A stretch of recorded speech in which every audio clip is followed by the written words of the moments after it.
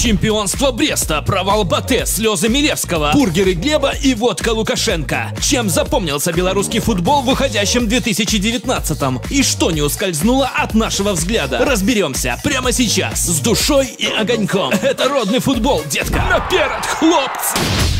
Брест чемпион, Пате не чемпион. Херня случается, девочки и мальчики. У Бреста 23 победы, 6 ничьих и всего одно поражение. У Бате сопли, слезы и галимое серебро. Впрочем, сопли и слезы это больше про брещан. В 29-м туре чемпионата Беларуси Динамо Брест оформила чемпионство в матче против Витебска. А Артем Милевский после поединка натурально расплакался. Да-да, прям взял и разрыдался. Распустил нюни, пустил мокрого, упал в жилетку, увлажнил роговицу. Но честное слово, как баб.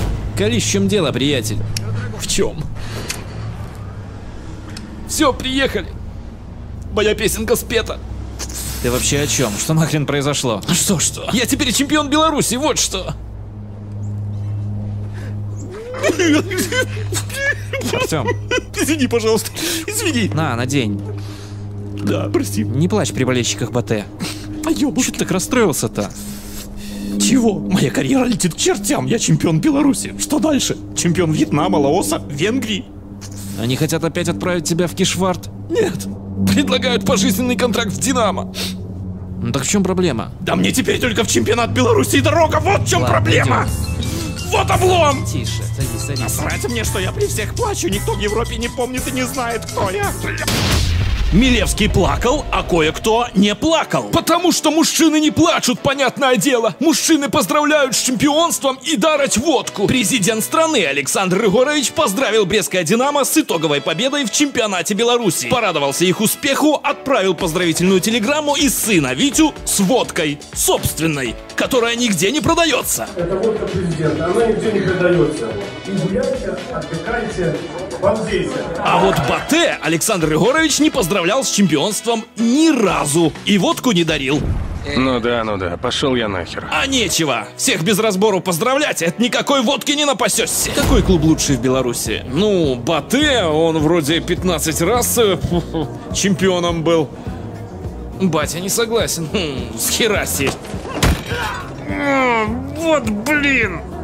Ты или тупой, или совсем тупой. Ну все, я понял.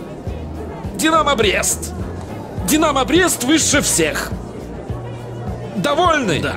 Парни, стойте. Батэ чемпион.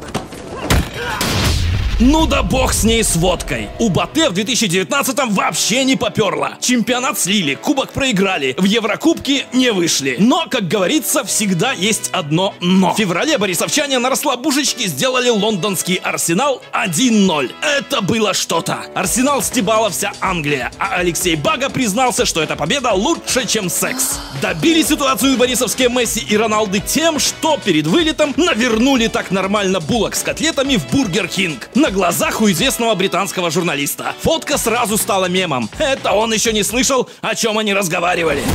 Ребят, вы смотрели в это воскресенье контуры по ОНТ? Конечно, офигенная передача. И как тебе? Да я ее каждое воскресенье смотрю. Еще ни разу не пропустил. Особенно продажники интересно. Ну знаешь, там уборочная, там комбайны. Так, ладно. Я оплачу счет. С вас по 20 баксов. Плюшевые.